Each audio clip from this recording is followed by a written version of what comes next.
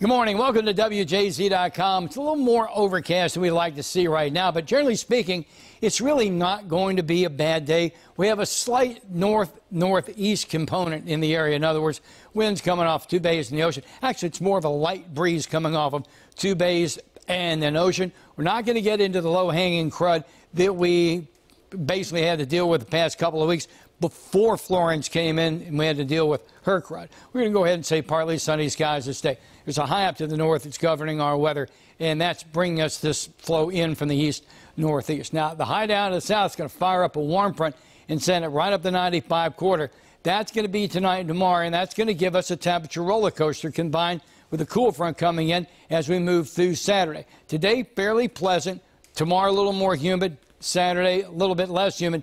Then some problems begin. Here's that northerly high. Here's the heat pump. Here's the warm front. But this front slides across the mid-Atlantic Saturday. I don't think the Ray Lewis parade's in really any jeopardy of seeing any rain or thunder showers, but later on Saturday evening.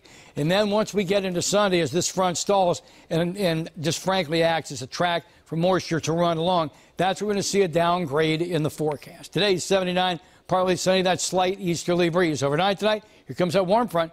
Winds swinging around the southeast, a bit more humid, 65 degrees. Tomorrow we're still going to be in the upper 70s. By the way, normal is 76. Then 79 Saturday, less humid. There's that little bit of a roller coaster.